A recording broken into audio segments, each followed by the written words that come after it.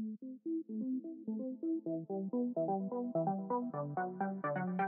you.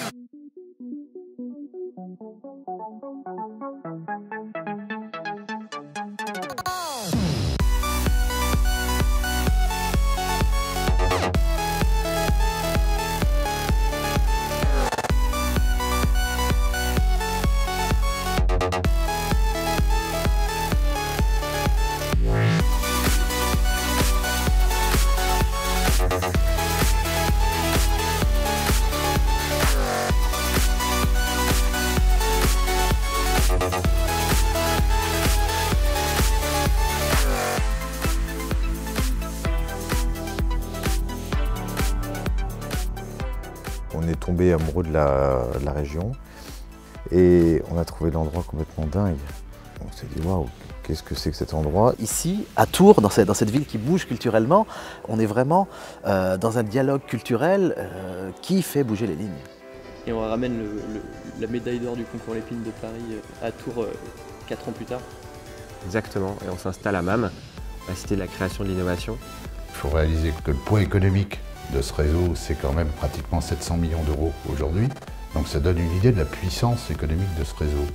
Je pense que c'est un peu le point commun qu'on a. En tout cas, on s'en est rendu compte en se rencontrant, envie comme ça de bouger les lignes et à bas les prés carrés et envie de ah, waouh, enlever les étiquettes, les a priori sur les genres.